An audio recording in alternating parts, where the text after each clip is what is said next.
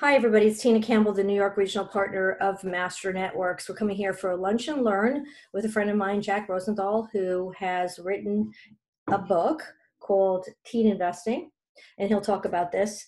Um, most importantly, I'm going to pick his brain on how to self-publish and and then getting your brand out by writing a book. Hey, Jack. Hey Tina, yeah, thanks for having me on. Glad we are able to uh, set this up.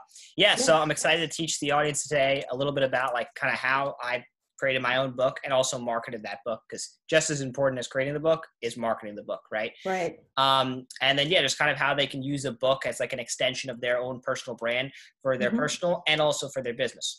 Absolutely. Um, so yeah, so you know, with that, let's get right into it. Well, so, can I can I ask you yeah, before go we go into the book itself?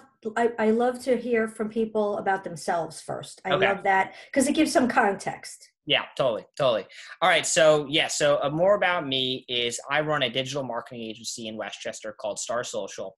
Um, we mostly help businesses with their social media, social media branding, social media management, social media advertising, basically all things digital, particularly in social media. Um, and yeah, we help we help businesses all across Westchester, everything from like office businesses to local businesses to personal brands with their social media. Mm-hmm. Um, I also happen to have written a book on teen investing totally separate topic. However, you know, it was it's kind of like been a passion project, which turned into like a really cool uh, opportunity through the book. Um, uh, I'm now reaching out to get potential speaking opportunities. Um, we're selling tons of copies with the book. I'm building my own personal brand with the book. Right. Um, so it's been a really cool way to kind of boost my own personal brand, uh, as well as you know, as well as get some more information out there about teenage investing. So right. anyway, I know I know it seems like two different two different. No, no, I get yeah, it. I well, I get it, but I think I've you and I have talked about things so that yeah, I, totally. I I you know I have that knowledge of what you were trying to do. But so the thing, you know, one of the things I you know I read your book and thank you for signing it because I know someday you're going to be you're going to be um, you're going to be uh, you know well to, you're going to be up there in the business world and i could say i knew you when um, i'll sell that book on ebay no i'm kidding um, but the most important thing is that so you decided what was the niche i just want to hear why you thought um, uh, teen investing was an important topic because i yeah. think I, I think it is but go ahead Totally. So, so I actually have a whole background in teenage investing. Um, it's it's a long story, so I will, I'll just kind of give you the quick uh, synopsis. Okay. But when I was 14 years old, my freshman year of high school, I created something called the Young Investors Club, um, which started off with just 20 kids all putting in a thousand bucks, and basically the idea was we're going to collectively manage our money in the stock market. Mm-hmm. Um, and then from there, I continued to grow the club year after year. My junior year, we really expanded the growth of the club the way that we've done it is we partnered with a large organization. We sent out emails to the parent members to get the kids to join. Um, so at that point, until junior year, we were only in New York. Then we decided to expand up and down the East Coast. So that basically created one of, if not the largest team investing clubs organizations where we actually invest real money in the stock market in wow. the country um, so based on my experience with that i obviously have a lot of background with teenage investing particularly teaching other teenagers about how to invest because through running this club every single time we had a call oh, mostly sure. what, what would end up happening is i'd be kind of teaching the other kids on the call hey here's what we should look for here's what we should avoid in stocks um, so then, based on with all that knowledge, and also with the uh, the help of my grandfather, who's kind of been my like mentor to the stock market since I was eight. I was going to ask you who was who was there behind. Yeah, my, my grandfather was a commodities trader back in the day, um, and he was really my mentor to me in the wow. stock market. That's so wonderful. yes, he's been teaching me since I was uh, since I was young. Um, anyway, so based on all all the knowledge of running the actual club, really managing real money, teaching other teenagers, and having my grandfather mentor me, I was able to kind of put all that information into a book um, the original purpose of the book was just to basically distribute it to all the members of the club. So I'm a senior now in high school. I'm going to be letting someone else manage the club next year because I'm going to be going to college, and it's just better to have a high school student managing the club rather than a college student older out of the demographic. Mm-hmm. Um, so, so with that, it's kind of like a parting gift. I wanted to write a book to kind of like leave everybody with some like principles of what they should look for for the Young Investors Club portfolio and for their own portfolios for the rest of their lives. Um, so I finished writing the book, and I'm like, you know what? Why don't we open this book up to the public? I think that any teenager could learn from the principles and the my experiences that I teach in the book. So that's exactly what I did. Uh, we've had like we've had way better response than I ever expected with the book. I expected to only sell like a few copies, a few dozen or so. Since then, we sold hundreds of copies. So yeah, it's been a great success, and um, and and it's really cool to have published a book. So let me ask you something. When you first were writing it, just to get a little bit pragmatic, because that's what a lot of us uh, are, are kind of asking. Yeah, totally. Um, what did you, you know, did you just write it on a Word doc? Did you write it on, make it a PDF? Just start, go through, you know, it doesn't have to be super detailed, but I kind of want to take me through those steps. Yeah, totally, totally. And I think this is a good kind of point to transition in the screen share that I said I would do, where I'm going to oh, show yeah, good. my Amazon account. Great. So let me let me set that up right now.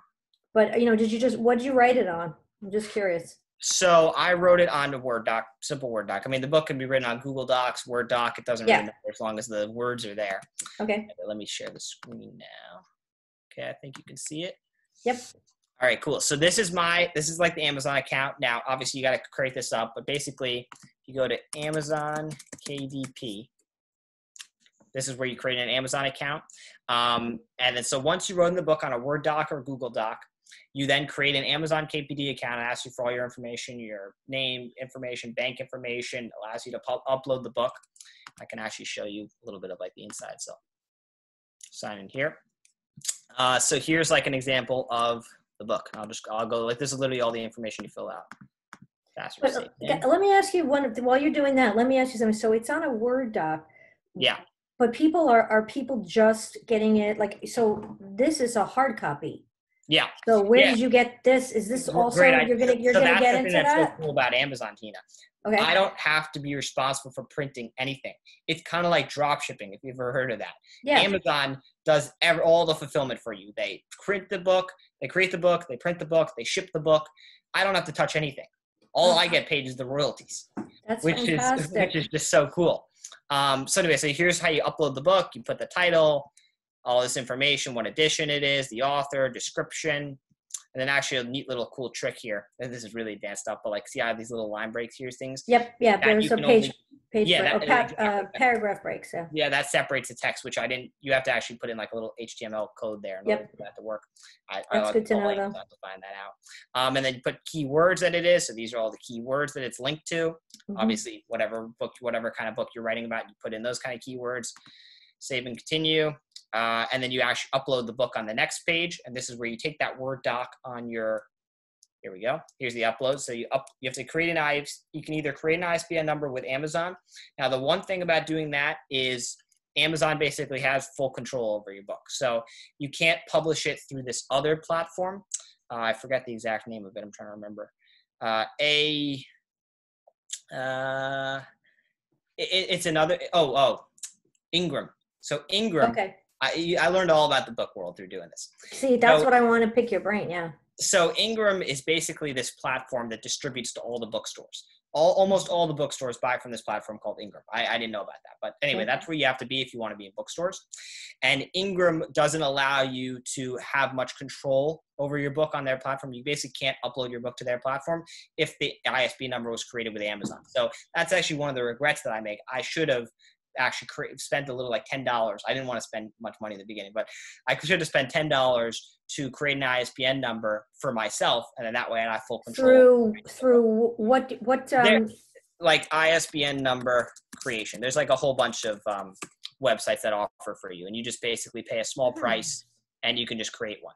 So, so that's the one. That's the one thing I would have done differently, doing it all over again. Amazon lets you put in somebody else your own ISBN yeah. number. See, if I clicked use my own, I could have put it in there. Yeah, I mean, I know I used to work in a bookstore a long time ago, way before you were born. You probably uh, bought from Ingram, right? The um, you know what? I'm think yeah, I'm pretty sure we did. But also this, I just want to explain what the ISB number is.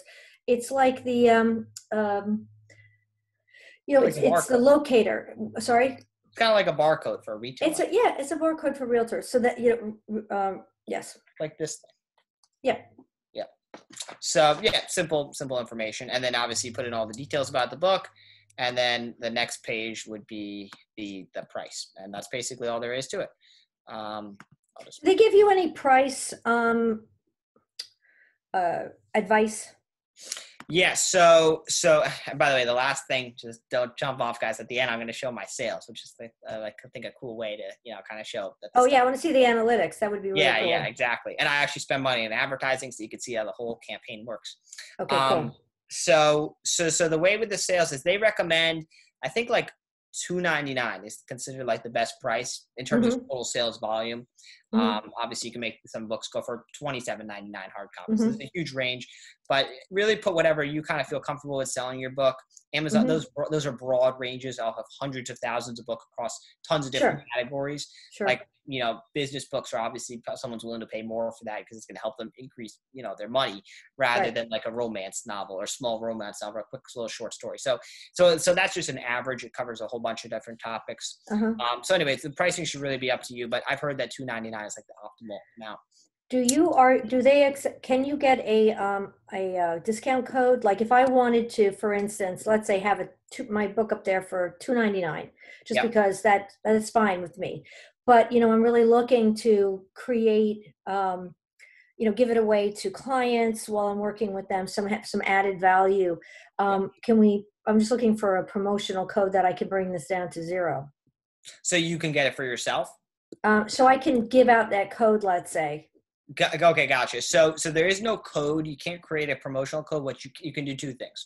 One, you can order order author copies, and these allow you to buy the books at just whatever the cost is of printing them and shipping them. So that's sure. just two dollars and fifty four cents. You click order author copies, and mm-hmm. allows you to order as many as you want, up to a 1000 mm-hmm. um, paying that basically, as I said, the printing and shipping cost.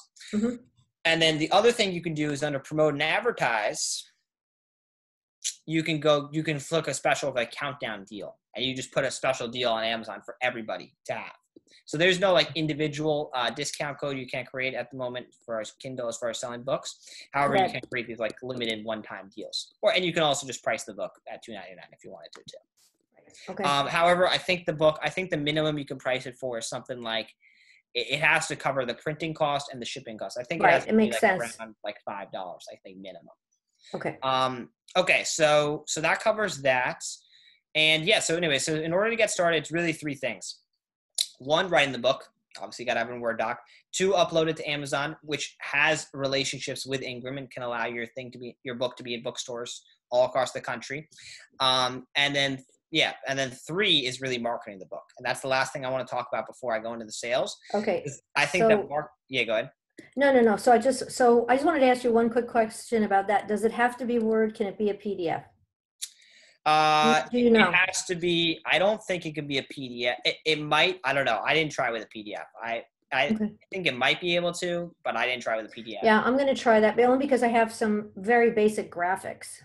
Okay. Oh, and then the last thing, as far as writing the book, and as far as creating the cover, like as you see, I have a nice cover design here. Yeah. I just went onto a website called Fiverr where I hired an editor for the for editing the book and also yeah. a um, graphic designer for publishing for creating the novel front and back cover. Yeah, I've used Fiverr for logos before. Yeah, it's great. It's logos, tons of book cover designers there too. There's editors on Fiverr and Would you, for a great price too. Okay, so and so the other thing with just that one last question, so you can ask them, then you could probably give them whatever, and you could say edit this and please put it in the format that you needed for an i can exactly yeah all the amazon editors know the proper format to put it in as far as actual what size like what kind of right. size the book should be in as well as what kind of uh, a pdf or word document okay great. So really once you get once you what whatever you put it on then go to something like fiverr to get the design for the cover and also to get it in the proper format. And then it's just uploading and then it's just uploading exactly. Okay. Um and then so as i said the last thing is marketing the book right? There every year tens of thousands of authors publish books and and most of those end up selling just a few copies.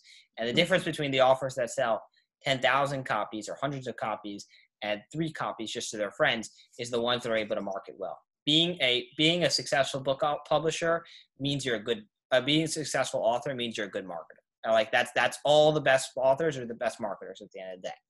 So so a couple different ideas, uh, and as well as how to market your book. First off, just put it on Amazon. I get organic sales now from Amazon. However, in the beginning, it was like a lot of family and friends. Like the first day, I think we got like probably within the first week, we probably got 20 family and friends to get the book after that, it's mostly been organic. Um, so first start with your family and friends network, you know, business acquaintances, Master all, networks. Master networks, exactly. like I promoted master networks. Start with like your core group. And I and, always show the book. I always, I always show the book. I know, I know. I appreciate you for doing that, Nina. Um, so yeah, so start with your, you start with your local group, start with your core group, and then as far as strangers, that's where you build up your social media profiles. So you put the link to your book in your Instagram bios, your Facebook bio, your LinkedIn talk about the book on those different channels. If you have a YouTube channel, talk about the book on the YouTube channel. And that's really so you start building an audience through social media and through digital platforms. And that's really the way to get your book sold to strangers. You write a blog, you put a little link at the bottom of the blog, get my book here. Those are all great ways to market your book online for free. Um, and then lastly, Oh, and then there's a couple different things. I mean, obviously this is not everything, but there's a couple other things. You can also go to bookstores. So what I did is one uh, weekend or two weekends, I drove around to all the different bookstores in, in Westchester and just like, hey, wrote this new book. I'm a teenager. I'm a local kid from Westchester. I'd love to put my book in your bookstore. And most of them were happy to take it. Or if they weren't happy to take it, they'll take it on consignment basis, where basically they pay you if you sell if they sell the book, which is fine with me. Mm-hmm. Um, and uh, and that's the third way to do it. And then the fourth way is with paid advertising. But that gets like a lot more complicated. And i would recommend starting off with organic and non-paid advertising. Right. Right. Because yeah because you've got to set this other piece up. And then i mean that's really another um, that's another lunch and learn that we could do later on. yeah that, that's a whole different animal. that's a whole marketing. Um, so if, i have a question for you. Going back to i'm still interested sorry i'm so interested in the process. Yeah totally. That's because uh, because you're writing a book, so that makes uh, right. Because I'm writing a book. So um, now with Fiverr, I want to ask you: do, do you did you go to the editor that knows Amazon first, and then I just looked to- up book editor, and and they all know how to publish. They know all know how the okay. proper way to upload it to Amazon. Almost all of them. Okay. Uh, especially now, which I look for is ones with a lot of five star reviews. Those obviously have done a lot of work before, so they know all kinds of different book projects. Right. And question for you: Do they also? I mean, are they not when they're editing it are they coming back to you with some edits and saying yeah know? so there was some edits that i was like ah, i don't feel like this needs to be changed like some wording you know it's yeah. to interpretation um, but obviously they'll still highlight the edits that they make so you can just approve them or disapprove them yeah um, but yeah so so that was helpful it was helpful for me for like catching some of the glamour or things like that yeah exactly um Okay, and then then afterwards you went to somebody in, on Fiverr that was more of a graphic designer, correct? Exactly. Yeah. Hold on. Let me just turn the lights on. It's getting a little dark. That's okay. All right. So no, I'm I'm I'm pretty good. Um, is there any other? I don't know. Those are some good tips and tricks. I mean, I had actually no idea. Like I was saying to you, is like I what do I do with this now? Yeah. You know, and then you can put your link to it in your e-signature you know right yep. you can have it um, you know you can have it on your website all of that i think um, i think it's the only thing that I, i'm thinking is it's like if i wanted to give it to a client um, i guess that i would have to do it through you know buying it myself uh, just because there wouldn't be. Uh, yeah, you, know, just order an author copy. Like I ordered like 50 books to my house. I have like just yeah. a bunch of them. I can you know hand them out. Um, I can give them to bookstores. You know, I can do all that kind of stuff. Just it's good to have a certain amount at your house. Um, yeah. Okay. Anyways, now let's get into the the sales portion. So this is in the last yeah. month. I've had the book for much longer than that, but this is just the last month. Mm-hmm. So let's see. So basically, here's all. This is every single day. How many books? So this day sold three, one, this day was a lot. I don't know what happened this day. We got like 10 people that ordered books on this one yeah, day. Master so, okay. So no, it wasn't Master Networks. That one thing. So you see it says distribution units. Yeah. That means a bookstore ordered it. So that's great.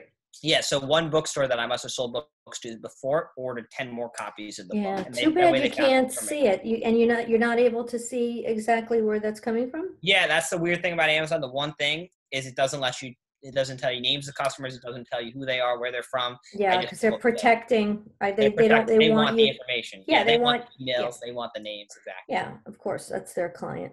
Got exactly. Um, and then yeah. So anyway, so this is book sales in the last month, and then this is also tracks. This is pretty cool. This tracks how many pages were read of your that book, your book that day on Kindle. On Kindle. So yeah, it tells you, you know, like how often people are reading. Oh, that's really cool. So, anyways, and then that's that's as far as sales from the last month, and then I also did a little bit of paid advertising on Amazon, which is not that complicated. Um, you click here, then you click. I'll just take you to the advertising portal. So, in the last month, I spent like fifty bucks on advertising, and I sold, and it, it's definitely if you can target the right keywords, it's ROI positive for sure. So I spent fifty eight dollars on advertising, and we sold mm-hmm. twelve books because of that, with a total oh, wow. one hundred seventy three dollars. Right. So we had like a so yeah, we had a three x return on advertising. Yeah. Um, and uh, and yeah, so so advertising is also a great way because basically what it does is targets keywords. So I'll show you right here, actually. Right, puts you probably up uh, on their on their pages saying you know uh, like just just like or recently viewed or something like that right so so what it does is when someone searches searches something like these keywords finance teenagers so like this one for example spend some money here finance teen books or this one financial mm-hmm. management teens or this one which sold a copy investing kids book so all these kinds wow. of keywords that people are searching on amazon that's that's what you want to target for your book category mm. obviously mine's all geared towards investing so, I mean, I think this is the difference. I was looking at some other um, ways of doing this, like Flipbook and a couple of the other ones. You don't get all this. You don't get analytics. You don't get advertise. You know, advert. You can't advertise. You have to do it all yourself.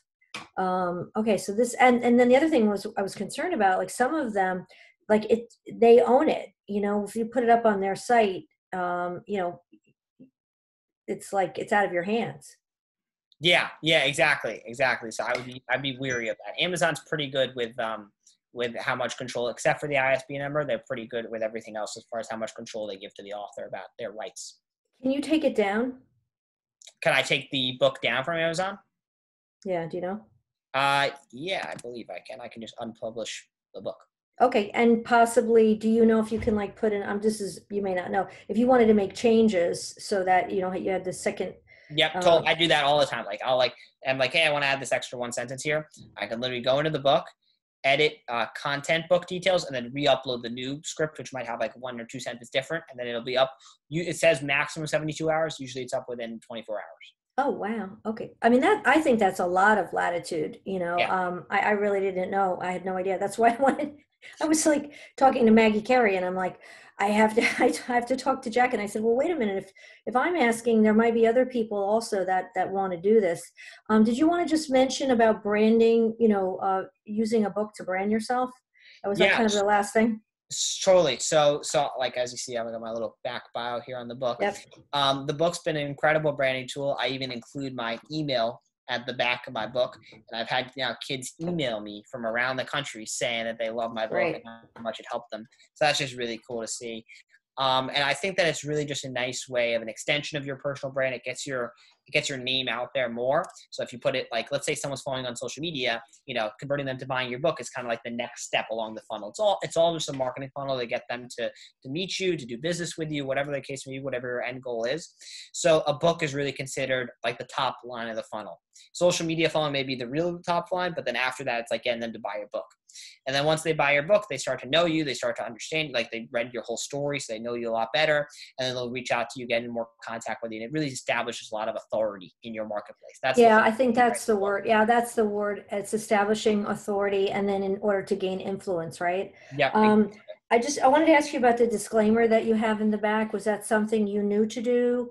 Or... Yeah, that was just I didn't know to do that. I just wanted to include it just in case you know there's any legal issues or anything right, like that. Right, with somebody um, investing something exactly. and saying obviously, you told me to do that. Obviously, finance is a regulated topic, so I just wanted to be you know perfect. Okay, just just my I's and dot my T's as far as legal. Just yeah, no, I just was curious about that if that came from the editor um, or that came from you. That's cool. So yeah. this is great. Um, so I want to um, you know thank you for coming on. It's a Saturday, and I appreciate you taking the time. And um, if you want to just stop on sharing, and we can um, just we'll just yep. say goodbye. Um, and then what we could do is, if anybody's interested, I mean, what we'll do in this um, at the bottom of this video youtube on youtube is in the description. Jack will give me um, all of his contact information. We'll put it down you know down below there. And they'll be able to contact you if they have kids who are teens who want to learn about investing. They can get the book on amazon. Plus they also you know they can they can email you for maybe a question or two. Sure, uh, get, get involved in your social media. If you want to put your website for your star social that would be great. And uh, just wish you all the best in your college career and i know that you will because you already have a great start to you know your your business career. Uh, and i'm really proud of you. You know that. Thank you very much tina. That means a lot. all right. Thank you. For having me on. Thank you. Bye